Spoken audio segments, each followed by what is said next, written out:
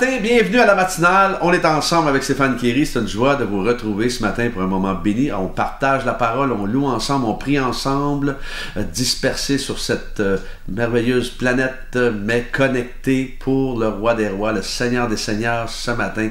Alors, dites-moi d'où vous êtes, le pays, la ville, et n'hésitez surtout pas à me dire, à m'envoyer vos sujets de prière sur les infos qui apparaissent maintenant au bas de l'écran.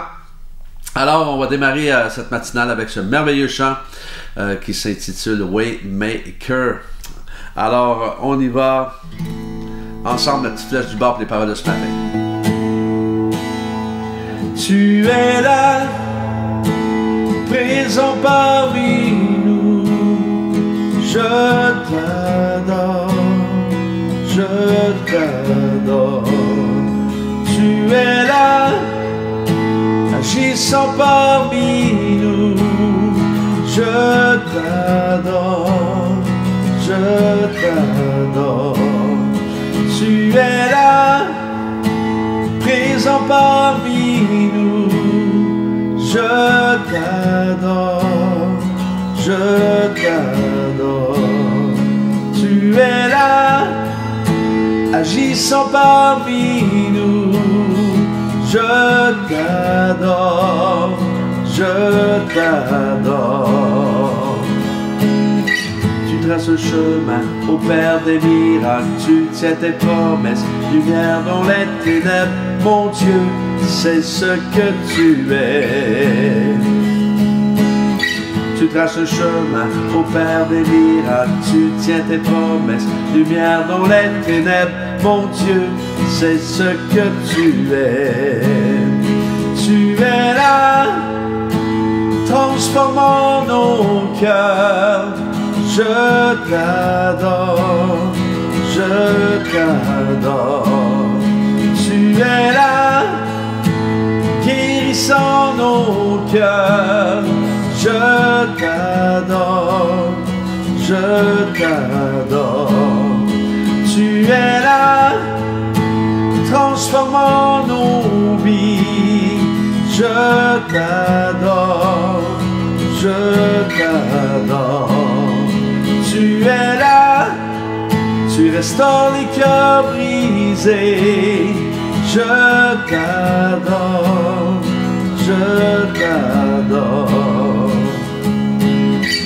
Tu traces le chemin au Père des miracles, tu tiens tes promesses, lumière dans les ténèbres, mon Dieu, c'est ce que tu es. Tu traces le chemin au Père des miracles, tu tiens tes promesses, lumière dans les ténèbres, mon Dieu, c'est ce que tu es, c'est ce que tu es, c'est ce que tu es, c'est ce que tu es, c'est ce que tu es. Et quand je ne le vois pas, tu es là. Et quand je ne le sens pas, tu es là. Tu agiras, tu agiras encore. Tu agiras, tu agiras encore. Et quand je ne le vois pas, tu es là. Et quand je ne le sens pas, tu es là. Tu agiras, tu agiras encore. Tu agiras, tu agiras encore. Oh oui, encore Seigneur. Merci pour ta fidélité, mon roi. Oh, même quand je ne te vois pas, tu es là. Merci pour ta présence. Oui, Seigneur. Et quand je ne te vois pas, tu es là. Et quand je ne te sens pas, tu es là. Tu agiras, tu agiras encore. Tu agiras, tu agiras encore.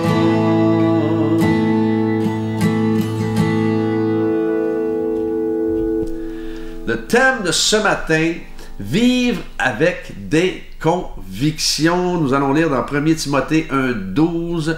1 Timothée 1.12. Voilà pourquoi j'endure ces souffrances, mais je n'en ai pas honte car je sais en qui j'ai cru et je suis persuadé qu'il a la puissance de garder le dépôt qu'il m'a confié jusqu'à ce jour-là. dans 2 Timothée 1, 12. 2 Timothée 1, 12. Alors non, et non 1 Timothée, c'est 2 Timothée 1, 12. Alors il y a beaucoup d'hommes et de femmes de conviction euh, qui ont été mis euh, en prison euh, ou tués euh, dans les derniers siècles et on pourrait en énumérer une tonne. On n'a qu'à penser même aux anabaptistes. lorsque vous lisez l'histoire du christianisme, les anabaptistes étaient des jeunes hommes, des jeunes femmes de, de début de la vingtaine qui, qui donnaient leur vie, euh, qui se faisaient brûler au bûcher, euh, qui se faisaient torturer. C'était absolument épouvantable. On n'a qu'à penser à Martin Luther King, le pasteur afro-américain euh, que l'on a assassiné pour ses convictions. nous pensons à Abraham, le, le président des États-Unis, Abraham Lincoln, qui a été assassiné pour ses convictions concernant l'abolition de l'esclavage aux États-Unis. On pense au pasteur euh, Dietrich Bonhoeffer, euh, qui a été pendu euh, par les nazis avec une corde de piano pour ses convictions justement, alors qu'il était évidemment euh, contre la pensée euh, populaire euh, et, contrôlante des, nazis à, l'époque, lors de la Deuxième Guerre mondiale. Alors, en, fait, en fait, il était, il, venait avec sa, évidemment, il venait à l'encontre de Hitler. Alors, on a, même la guerre était terminée et on a réussi à, le pendre à la toute fin. Alors, on n'a qu'à penser à l'apôtre Paul qui a été engagé et consacré à cause, euh, à la cause de Jésus parce qu'il était convaincu euh, de ce qu'il avait vécu. Euh, souvenez-vous lorsqu'il a été projeté en bas de sa monture et, qu'il a, il a été aveugle, aveuglé pendant quelques jours. Alors c'était incroyable. mais il a vécu des choses absolument intenses et surnaturelles avec Dieu. En fait, ce sont tout ça pour dire que ce sont nos convictions euh, qui vont déterminer et influencer notre futur. Remarquez une personne avec des convictions fortes. Euh, cette personne-là va normalement avoir une vie bien établie euh, sur des bons fondements. et ce sont nos choix et nos décisions dans la vie qui vont déterminer nos convictions. Et toute notre vie, nous aurons à faire face à des choix et à des décisions. Sauf que si ces décisions et ces choix ne sont pas faits en fonction de nos convictions, alors nous allons tourner en rond. Alors il, y a euh, de nos convictions, par contre, euh, que peut-être certaines personnes n'apprécieront pas, euh, mais ce qui est important de comprendre ici ce matin, et je dirais même essentiel, c'est que si nous avons des convictions, par rapport à telle ou telle chose, nous ne devons pas les imposer sur les gens autour de nous. Euh, ça, ça veut dire égale maturité spirituelle. C'est bien, il faut, être, faut rester mature. Il faut pas, faut pas, pas, pas, parce qu'on a des convictions et pas euh, parce que nous avons vécu une expérience intime avec Dieu euh, que euh, nous pouvons nous imposer sur les gens. Alors, de grâce, ne vous imposez pas sur les gens. Tentez plutôt de leur démontrer de l'amour et de briller. Alors, eux vous poseront les questions par la suite. Alors, il y pasteur Brian Houston qui dira euh, ceci au sujet des convictions. Quand il s'agit de la croix de Jésus-Christ, vous ne pouvez pas juste être spectateur. Euh, euh, vous devez, ou, vous ne pouvez pas juste regarder, vous devez prendre position.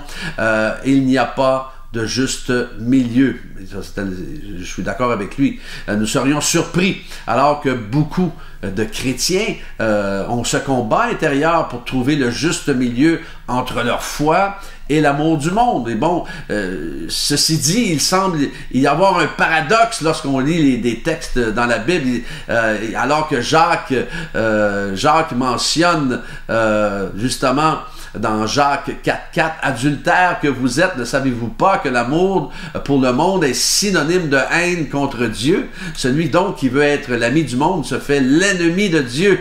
Et Jésus, lui, qui va dire, en effet, Dieu a tant aimé le monde qu'il a donné son Fils unique afin que quiconque croit en lui ne périsse pas, mais qu'il ait la vie éternelle. Alors Jean 3.16. Alors, euh, lorsque Jacques, ici, évidemment, parle de l'amour du monde. Il ne parle pas de ne pas aimer les gens. Euh, Jacques, Jacques, ne dit pas de ne pas aimer les gens, mais plutôt de ne pas être en amour avec euh, leur philosophie ou, leur culture, la culture de ce monde ou leurs agissements. Euh, on n'est pas obligé de les imiter. Euh, alors, on aime les gens, mais nous ne sommes pas obligés d'endosser ce qu'ils font.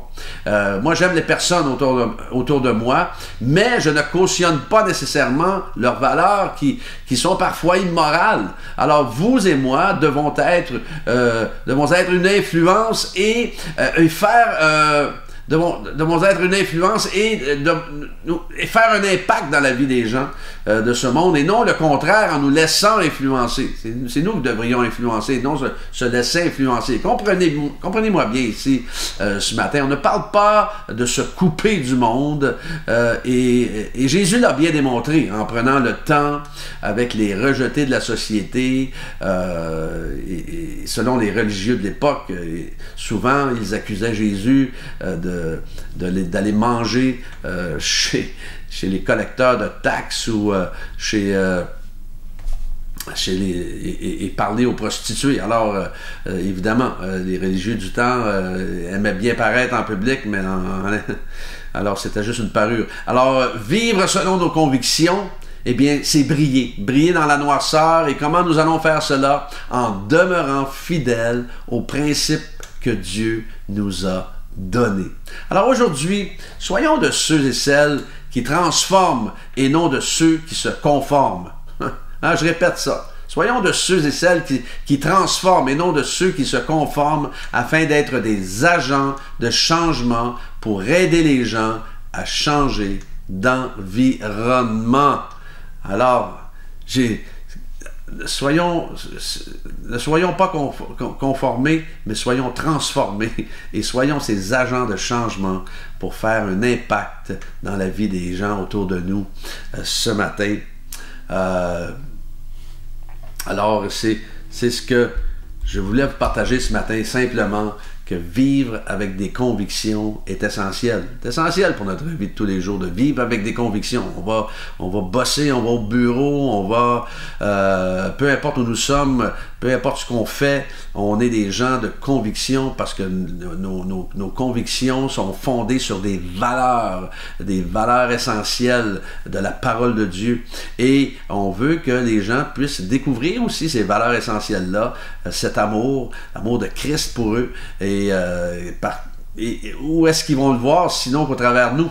Alors, euh, c'est pour ça que je parle souvent euh, et je vous répète souvent qu'il faut, vous et moi, briller dans ces moments qui sont un petit peu difficiles dans, ces temps-ci. Alors, on va, on va, on va prier, si vous voulez bien, ce matin. Alléluia. Seigneur, nous... Seigneur, nous t'élevons, euh, Seigneur, des, personnes euh, qui, euh, qui vivent des moments difficiles ce matin. Ils sont peut-être à l'écoute à l'instant et, et c'est pas toujours facile. Certains sont isolés, certains sont seuls à la maison depuis longtemps. Et je prie que tu, tu poses ta main sur chacun d'eux, chacune d'elles surnaturellement. Toi, tu les connais, tu sais même où, où elles sont présentement. Et merci de déposer double portion de ta présence dans leur cœur et dans leur vie, Seigneur. Merci pour euh, ta grâce infinie. Merci parce que ce matin, tu es toute notre raison de vivre. Seigneur, nous avons cette conviction que tu es toujours le même et que tu ne changes pas. Tu es celui qui transforme les vies encore aujourd'hui. Merci. Merci de, nous utiliser comme tu le fais. Merci de te servir de nous. Merci d'agir au travers nous euh, pour des besoins euh, particuliers aujourd'hui. Pour des gens peut-être qui justement ont besoin d'un coup, de, coup de téléphone. Euh, des gens qui ont besoin d'aide, qui ont besoin de, quelque chose euh, pour combler leurs besoins, justement, peut-être financiers ou peut-être pour manger même. Alors Seigneur, merci d'entreprendre. Pour chaque homme et femme qui sont connectés ce matin, qu'ils reçoivent double portion de ta présence, de ta paix, qu'ils sachent sans aucun doute, Seigneur, que tu es là, que tu entends leur cri, le cri de leur cœur et la voix de leur supplication, Seigneur. Alléluia. Tu es là, présent parmi nous. Je t'adore, je t'adore. Là, agissant parmi nous. Je t'adore, je t'adore. Soyez bénis. Que Dieu vous accompagne tout au long de cette journée et Dieu là, demain matin, on est ensemble.